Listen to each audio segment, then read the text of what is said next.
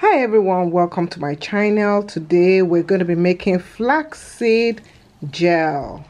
And this is my flaxseed I'm going to be using. So apparently we all have been making a flaxseed gel the wrong way because Flaxseed gel has a lot of nutrients, especially when you eat them, but we're going to use it on our hair and we also want that good nutrient in our hair. So instead of boiling the flaxseed on the stove like we normally do and then adding it in and cooking it on the stove, we're actually going to be doing a new method. And shout out to my subscriber who told me of this method and told me to try it out.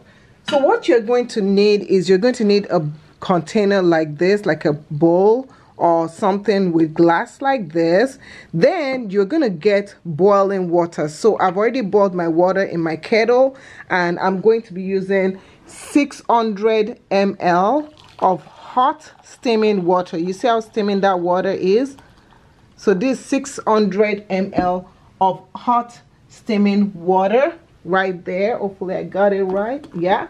Then you will now take a quarter cup of flaxseed gel. So this is about a quarter cup that is two ounces and you're gonna pour it into that hot steaming water just like this and you're just gonna let it sit like that.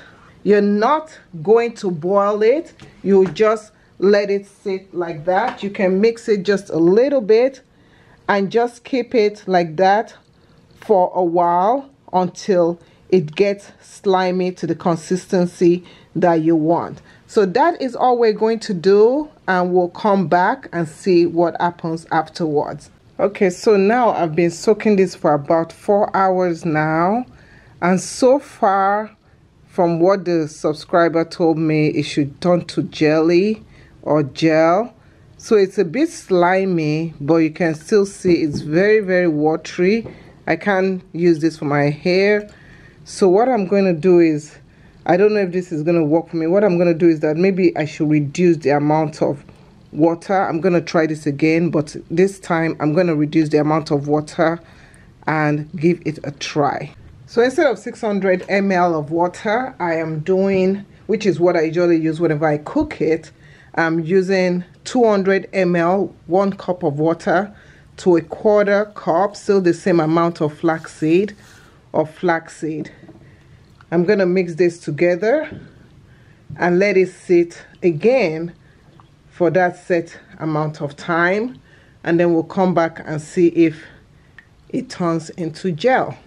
So it's been a couple of hours and let's see what it looks like if it has formed so it's a bit gooey and let me show you. So but it's not as gelatin like how it was when I cooked it. So personally I'm going to squeeze this. Let's see how easily we can squeeze this. So I always use this bag to squeeze. So this is my bag. I'm just going to put the flaxseed in there. You can see it's a bit still liquidy so I'm just to pour all that in there. It is slimy. So if you can see it. So it is slimy. It's coming out really really well. I had some flaxseed that escaped but it is slimy. So it is working. You just have to use less water so using less water. If you guys hear any noise it's just fireworks. I'm recording this the last day of the year 2023 trying to bring content for you guys for the new year. So it is working. So we're gonna use this. I'm gonna go and twist up my hair with this and show you the results so in the next video, I'll be showing you how I twist up my hair using this gel and the results. So if you want to watch that, I'll be putting it on the screen right now. But um, yeah, so keep watching. You're going to see it in the very next video. Thank you so much for watching and please don't forget to subscribe. And I'll talk to you all in the next video. Bye.